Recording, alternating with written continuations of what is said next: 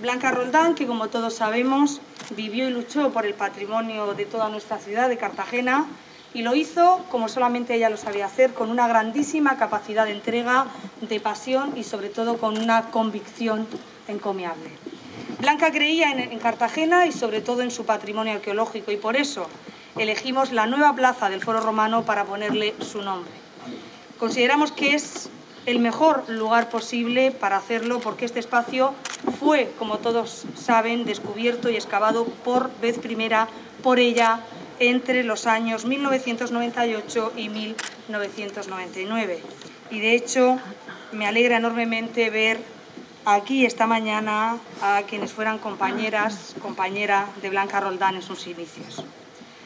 Decía Concepción Arenal que el mejor homenaje que se podía rendir a las personas es imitarlas. Pues bien, durante estos años lo que hemos hecho es tratar de imitar a Blanca en su amor por el patrimonio, su amor por la arqueología. Y lo hemos hecho siguiendo su estela y poniendo en valor este barrio del foro y construyendo un museo para su comprensión y sobre todo para su socialización como ella hubiera querido y hubiera pretendido. Blanca Roldán Bernal nació en Cartagena en febrero del año 1954. Se licenció en Filosofía y Letras por la Universidad de Murcia en la especialidad de Historia Antigua y Arqueología. Como arqueóloga dirigió y publicó informaciones acerca de excavaciones en numerosos puntos de Cartagena y su entorno, y entre sus trabajos cabría destacar en la ciudad el Cerro del Molinete o Arx, Asdrúbalis, la Muralla Púnica, el tramo de calzada romana de la calle de la Caridad junto a Eulalia Sintas Martínez y el puerto. Siempre, siempre desde el Museo Arqueológico Municipal o desde el Centro Nacional de Investigaciones Arqueológicas Submarinas. También ella impulsó, como todos recordarán, o algunos de los que estáis aquí recordaréis, ella impulsó la creación de la plataforma en defensa del Cerro del Molinete desde donde reivindicó y nació la creación del Parque Arqueológico.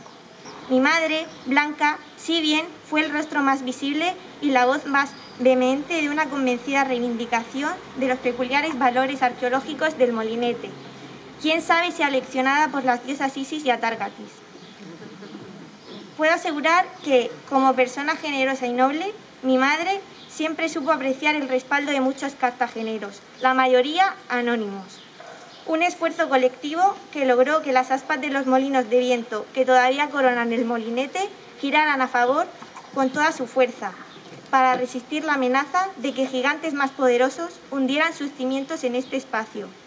Una batalla de muchos, que es obligado recordar a través de la memoria de mi madre, ya que esas personas fueron las que procuraron su aliento.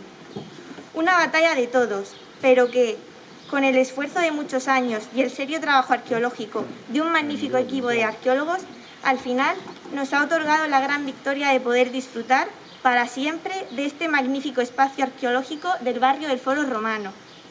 Para finalizar, y apelando a un nuevo soplo cervantino que glosa un famoso refrán, solo me cabe decir, en nombre mío, de mi padre, de mi hermano, mi hermana, de mi abuela, tíos, primos, allegados y muchos cartageneros, que de gente bien nacida es agradecer los beneficios que reciben.